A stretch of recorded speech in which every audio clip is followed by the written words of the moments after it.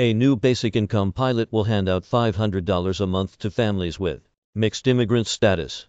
For many Americans, benefits like expanded unemployment, stimulus checks, and child tax credits were crucial for staying afloat during the pandemic.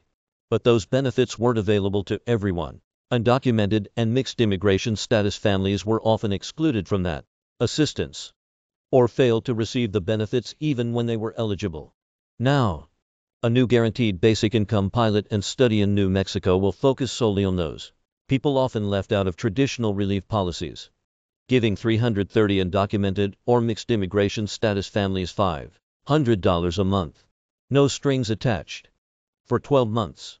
The pilot is a joint project between the New Mexico Economic Relief Working Group, a coalition of immigrant and community organizations including the nonprofit New Mexico Voices for Children and the immigrant rights group Somos un Pueblo, UNIDO, and the Oakland-based nonprofit UpTogether, which gives community members access to cash offers through its online platform and has helped collaborate on previous guaranteed income pilots like on in Sacramento, funded by philanthropic dollars including donations from the W.K.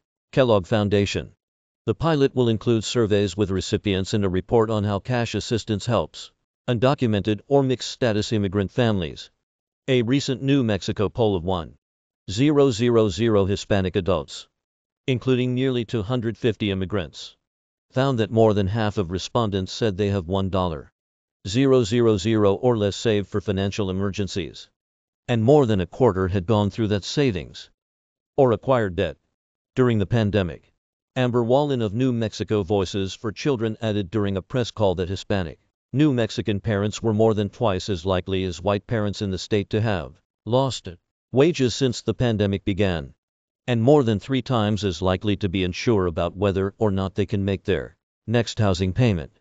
We know that immigrant workers, despite disproportionately being on the front line of those industries that kept the state, and the nation going during the pandemic. They're left out of millions of dollars in economic relief programs. Wallin says, but there's reason to hope. She adds, because of the growing body of evidence for cash assistance can help improve health and economic well-being outcomes, particularly for families with children.